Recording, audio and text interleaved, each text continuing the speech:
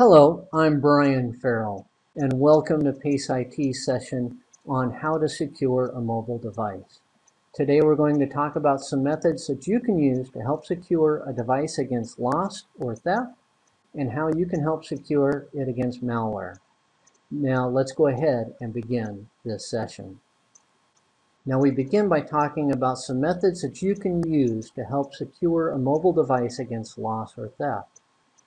Since their inception, loss and theft has been a concern with mobile devices. Just about everyone has either lost one or had one stolen.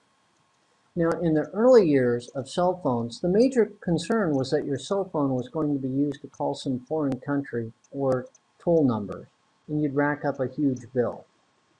Now, with the advent of smartphones and tablets and the portability of data, much more is at stake, so you should take steps to secure your mobile device. Your first line of defense is the passcode lock. It's usually a four-digit code that must be entered to unlock the phone, although they are using other methods now as well.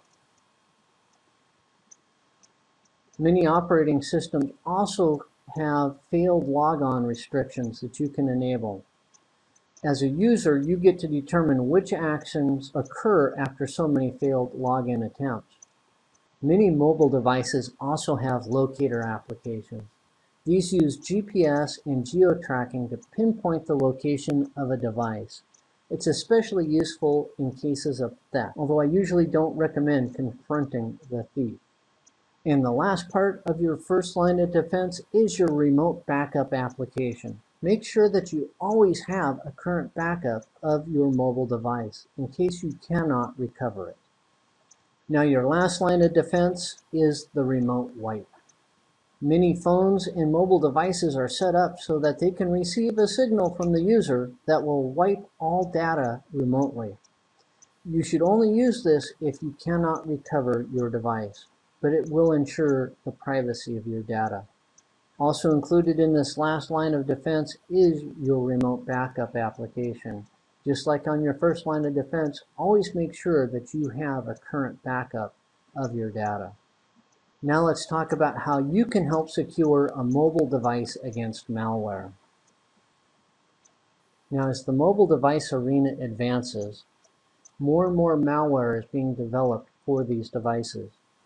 Originally, there wasn't much demand for malware on the mobile device. After all, what could you hope to recover?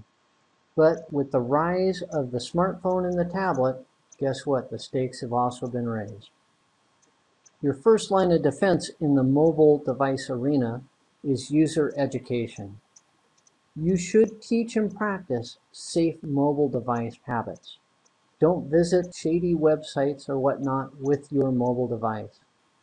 Patching your operating system and keeping current on updates is another portion of your first line of defense. This can mitigate many threats and vulnerabilities and helps to reduce the threat of malware. You should only acquire apps from a trusted source.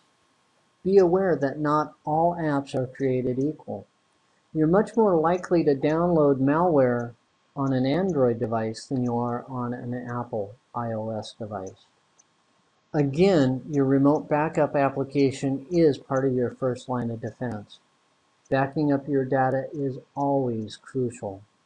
Your second line of defense on the mobile device is antivirus. Why is it your second line of defense? Well, because on the mobile device, the antivirus has to be configured and developed for each device and each operating system. This makes it a little bit harder to come by and not as advanced as desktop antivirus.